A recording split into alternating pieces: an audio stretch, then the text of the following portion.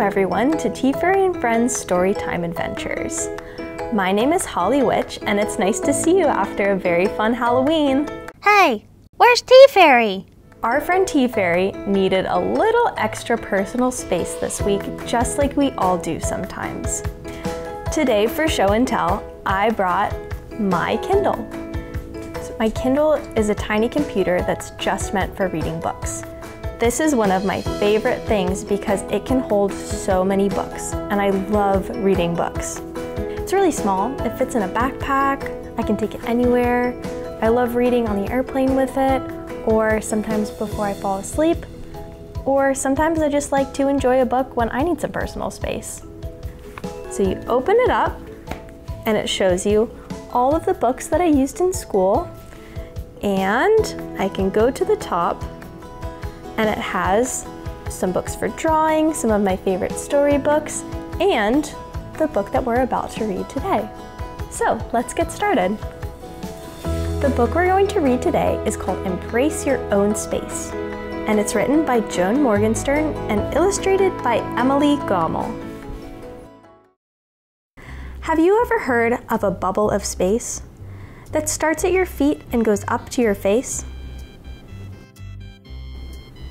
Each bubble of space has a job it must do, provide healthy distance between me and you. It works just like magic and helps to define the space that is yours and the space that is mine. It stops germs from spreading between you and me and keeps them away so we both stay germ free. And all through the day, as we move in and out, our bubble of space is right there to help out. Pretend I am standing too close to your face. Step back, there it is, your own bubble of space. Whenever I see you but can't come too near, I stop so my bubble of space can appear. At school, while I'm waiting and standing in line, my bubble of space comes in handy each time. And if I am sitting too close or too snug, I find my own bubble of space on the rug. Wherever I go, and no matter the place, I always rely on my bubble of space. Now, find your own bubble of space. Let's all try. Spread out your arms like you're ready to fly That's just the right distance. You've got a great start. Your bubble of space keeps you arm's length apart. Then say, Thank you, Bubble, for a job well done, for giving us room to stay safe and have fun. And that's the end of our story. What a fun book! Thanks for learning about personal space and listening to this wonderful book. Let's learn about how some of our friends enjoy their own personal space. Bye! Hey Whatnots, tell us about your personal space. When I want to have my personal space, I ride my bike to the beach.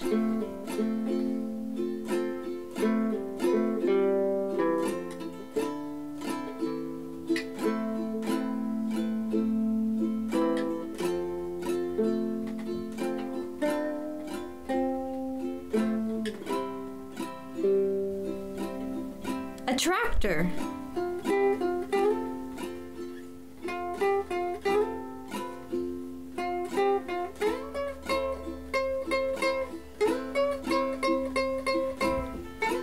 Wow, look at all this beautiful farmland.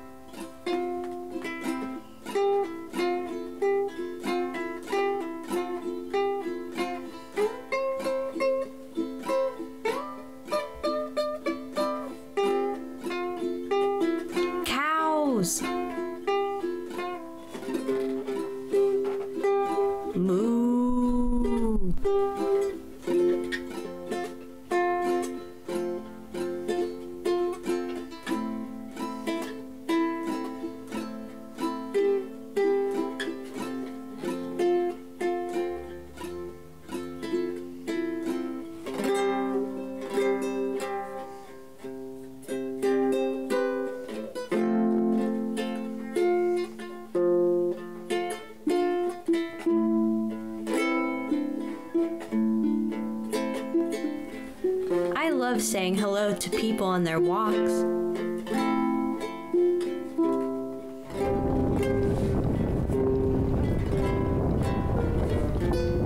It's Mad River.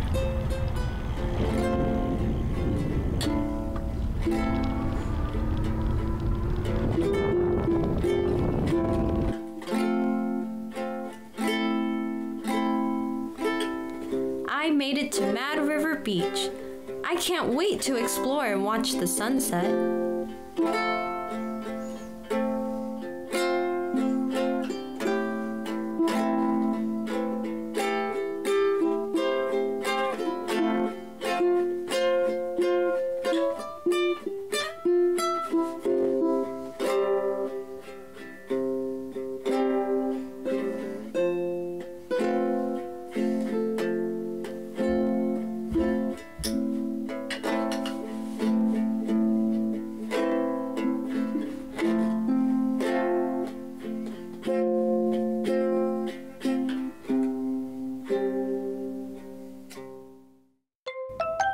Thanks, Whatnots. Let's go check out a fun craft. This craft has to do with our next book that we're about to read, and it is a cape for your elbow. So, for this craft, we're going to need our picture, pair of scissors. Make sure you're careful and have a grown up help you because they're sharp. We've got some paints, my water, some brushes, a palette. Got a piece of chalk. This is tailor's chalk, so it's very flat, but you can just use regular sidewalk chalk. I have a needle and thread, and again, please be careful and ask a grown up for help because the needle is sharp. We need some tape to hold our project in place. I have a few hair ties to attach the cape to my arm, and I have some old t shirts and an old pillowcase here so we can recycle and reuse materials that we already have. I think I like the color of this dark blue old pillowcase, so I'll be using that for my cape.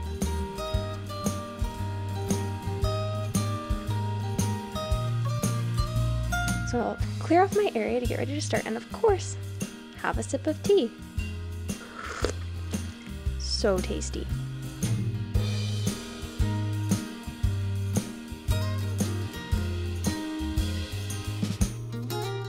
The first step is going to be to lay out the fabric flat. I'll make sure I have enough room to do everything. Just zooming through it a little bit here.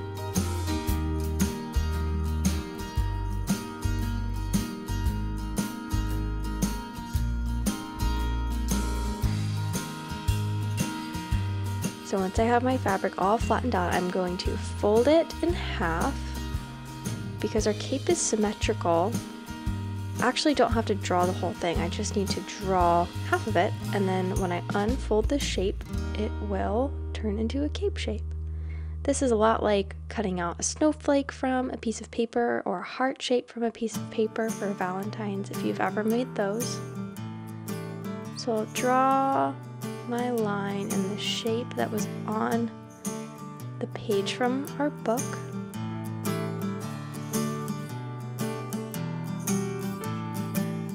Use my chalk for that.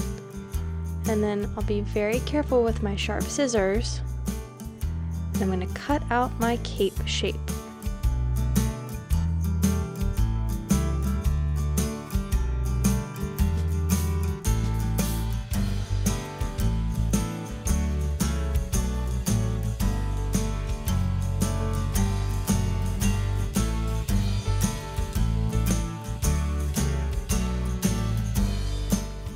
Unfold it and that's our cape.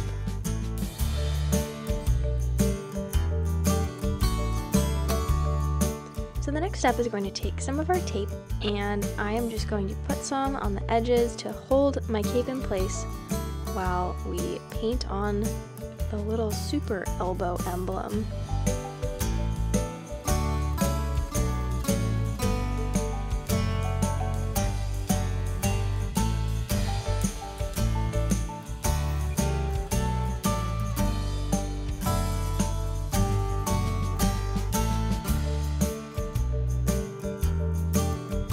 So I've got my paints and my palette and a few brushes.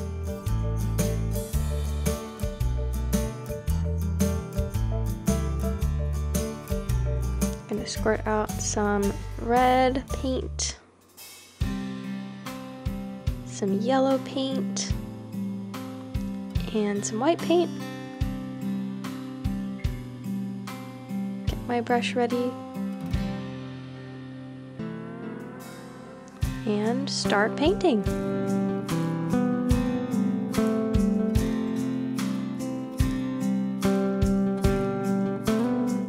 When I was a kid, I always used to love watching people do these fast painting videos where it was all sped up. I thought it was so cool to see a face appear out of the paper. And I still have a lot of practice to do, but I always wanted to be an amazing artist like that.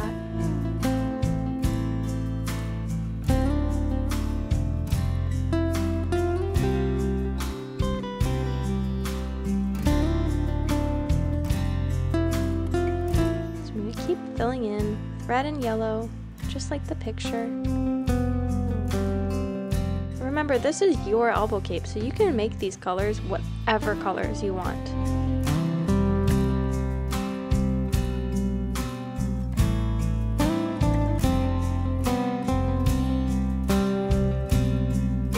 Thought these colors looked good on a superhero cape, so I stuck with the example.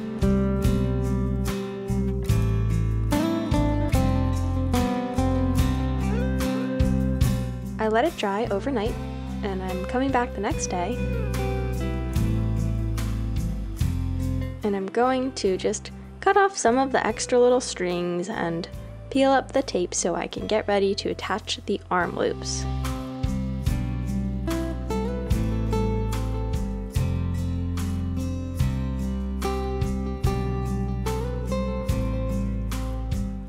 Oops, I got a little bit of paint on the table, but that's okay, I can wipe it up.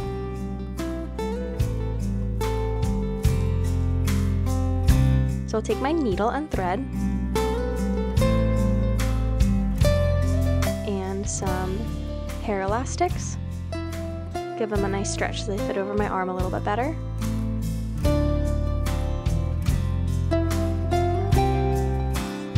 And I'll flip over my little elbow cape and use my chalk to make a mark where I plan to attach the elastic.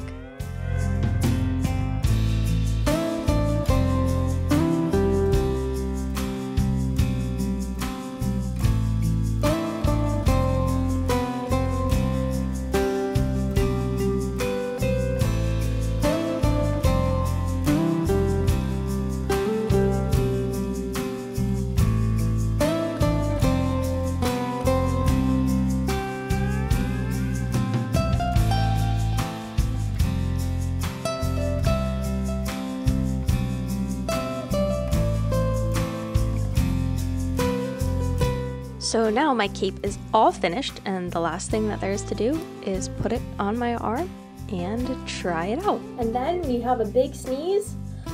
Uh, chew. Thanks, Super Elbow. Let's welcome Miss Jennifer for our next story.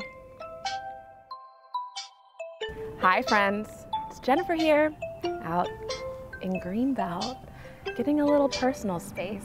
When I need some personal space, I like to go outside and take a little time to myself and maybe, maybe read a book. Should we read a book? The book we're reading today is going to be Way to Go Elbow about teaching children to reduce the spread of germs. It's by Joan Morgenstern and it's illustrated by Lucy Williams. Let's check it out. Way to Go Elbow. What do you do with a sneeze and a cough when the tickle inside is about to blast off? Try bending your arm by your face. Way to go! Relax so it lands right inside your elbow. Your elbow will work like a sign that says stop by holding back sniffles and spit drop by drop. It stops germs from spreading between me and you. That's one awesome thing that an elbow can do.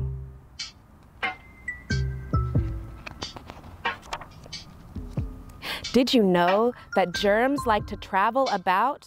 Your elbow stands guard and says, germs don't come out. Let's practice this now so you'll know what to do whenever you cough or have a big achoo. Just bend your own arm very close to your face so all of your germs land inside that small space. Your germs can't come out if they try to escape when you keep your arm bent in just the right shape.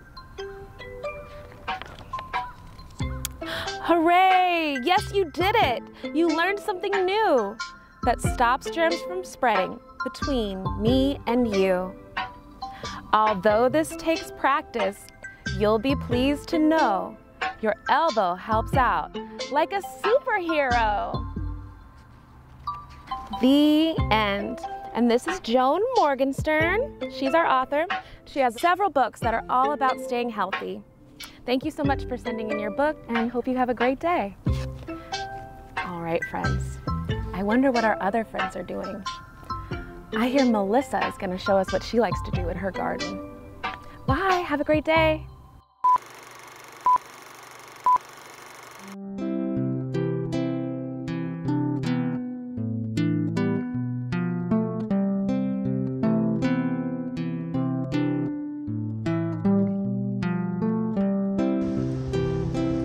We're going to have a wonderful tea party. And this is a little song to sing when you have a tea party.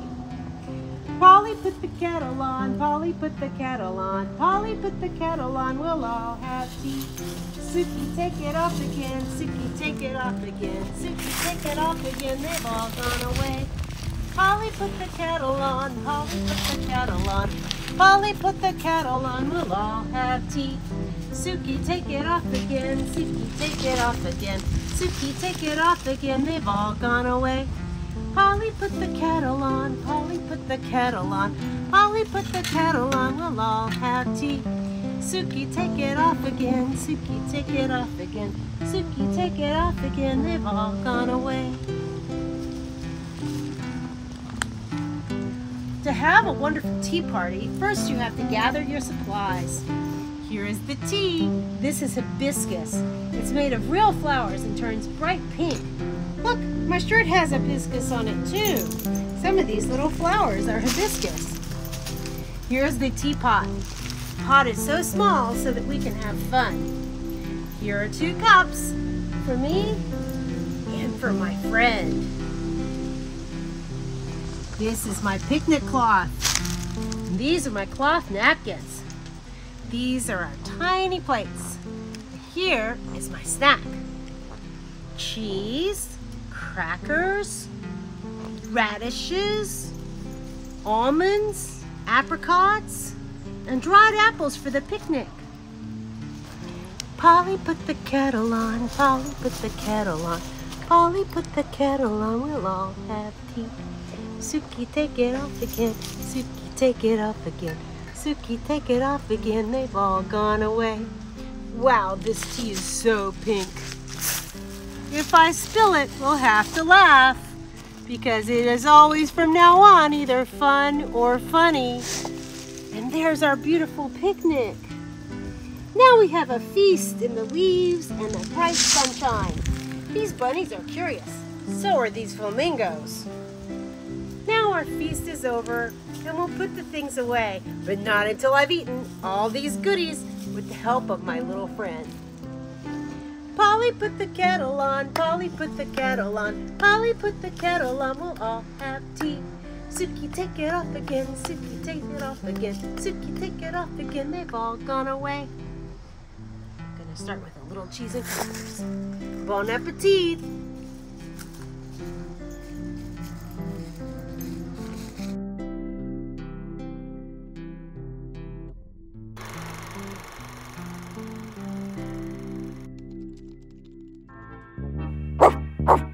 Our furry friends need personal space too.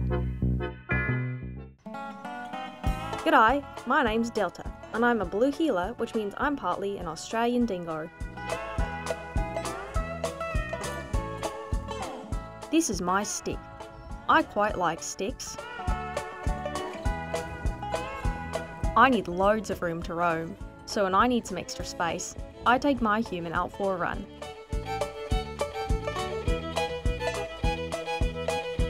I like to stop and sniff everything I can, like leaves, signs, rocks, and grass. Sometimes my human gets frustrated since she's not too keen to pause much. But I think she should try a good sniff too.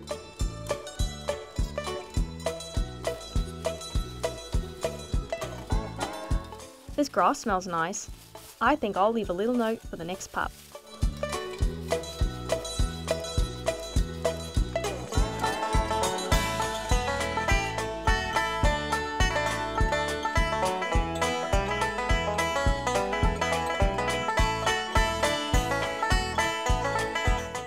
Time of year, the leaves are beautiful, even though I can only see in two colours.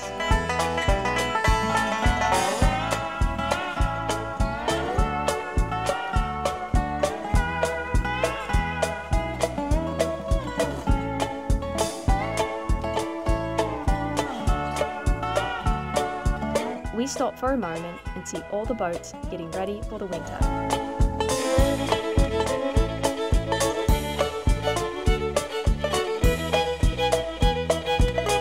Then we keep on round to see the beautiful Chesapeake Bay.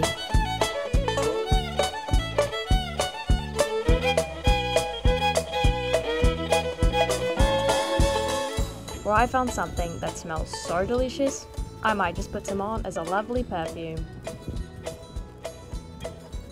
Sadly, my human objects. Don't roll in that. No. No, don't roll in the dead stuff. I know it's so fun. Come on, Delties.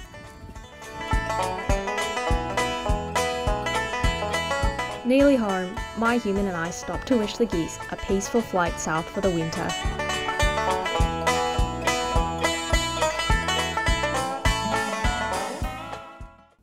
Now warm up your singing voice. It's time for some music with Miss Melissa.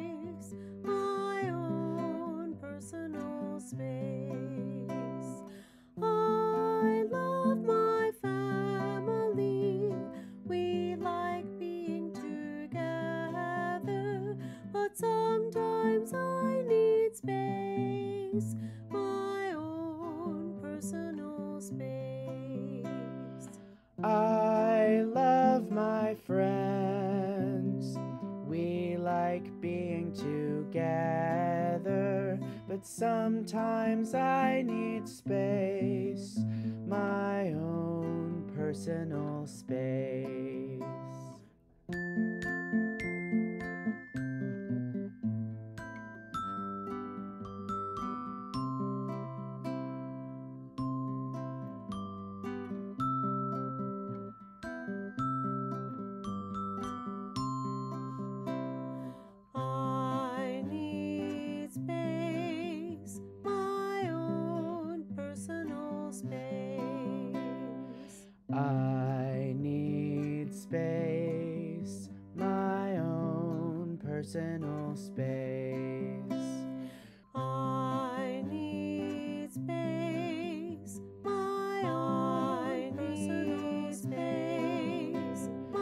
I need space, my own personal space.